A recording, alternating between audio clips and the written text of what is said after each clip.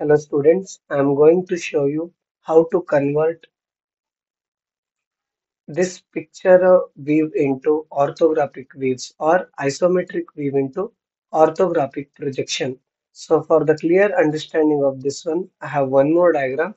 See, this will show you how it will looks only in front view. This red portion, red shaded portion will appear in the front view and green shaded portion will appear in the top view. And when you observe this uh, image from the left side view, we can see only this rectangular portion and we have to indicate this hollow portion. So I will open Solid Edge software. So in that one, you have to select drawing. I hope we have gone through the basic tools usage. So I will do sheet setup first. Sheet setup, select A4 size sheet, remove this background and click on OK. Then select fit. So draw one common line, then above this line, as per the given diagram, the base length is 100 and this gap, this is slant edge, this gap is at a distance of 20 mm from this one. So in front view, only we can see this portion. So draw this one, go through the dimension ones, 100 mm, total dimension is 45 and this step dimension is 20 as well as the slant edge is up to 20. So I will draw first 100 mm line, just enter 100, press enter key, then you can directly take 45 this side, the total height 45, enter. Since slant gap is 20, so we'll go for 20 here. Then simply you can join this so this side also same once again 45 height. This slant gap is 20 then join this the trim the line which is not required to you.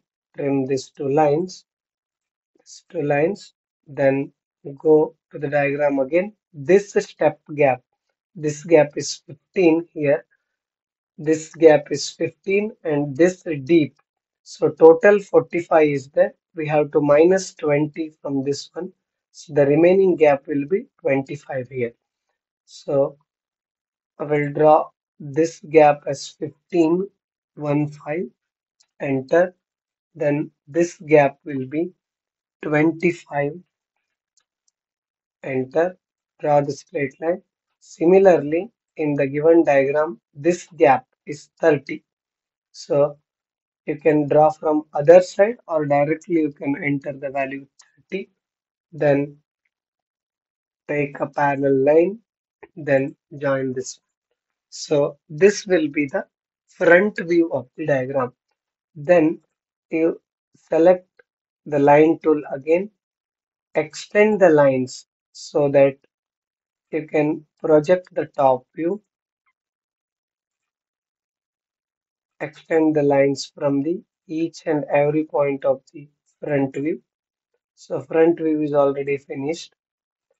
Extend the lines from all points and to distinguish the projection line you take select tool select one line press hold control and select all projection line. And in the menu you just change the thickness of the projection line so that it will be very thin. So then you draw top view. As I told in top view only this portion will appears so for colorful representation I will show you again. So here it is the total length of the bar. Then this one here when you look from the top we can see the dimension 40 so that one you have to draw here. Dimension 40 you enter the value. Then close the box since it is a rectangle from the top view then close this point also because when we look the diagram from the top we can see all this smaller rectangle. This completes your top view. Then since left side view is given, it will come on right side. Draw one straight line and both the line meets from the middle of this line. You draw a line of angle 45 degree. So when you enter 45 degree, it will go upside. Press tab button, enter minus 45 degree. So it will go down. Just simply draw the line. So similar to the last one, you just change the thickness of the line to the 0.13 and project the lines from the top. So touch until it reaches to 45 degree line. When it reaches to 45 degree line, you extend the line to the top. Similarly, from the front view, you extend projection lines.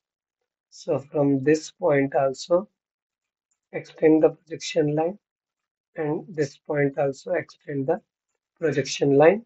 To distinguish the line, select all projection lines and reduce the thickness of the projection line using menu. So now how it looks in the side view.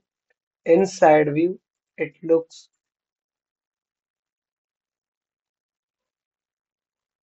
like a rectangle, but carefully you draw the line. So if portion is not visible, you just select zoom tool and select it. So take the line tool, carefully select this line. So if the cross section or the points where meeting intersection, if it is not showing, go to tools, IntelliSketch. You select this parallel symbol as well as intersection point. Click OK. Then take line tool. So now it is showing the cross mark. So here also on the cross mark. Here also cross mark. This side also cross mark. Join this one and go to fit.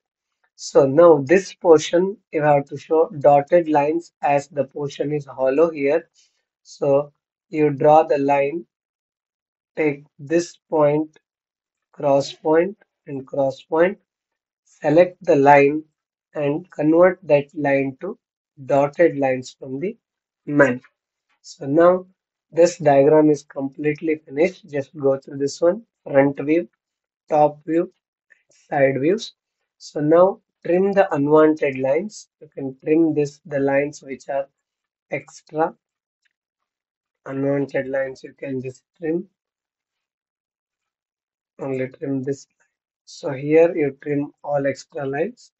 This line let it be as it is.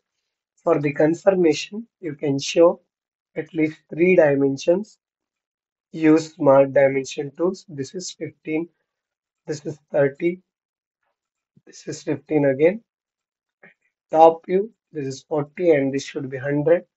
And inside view, this is 45. We can show minimum three dimensions. Thanks for watching.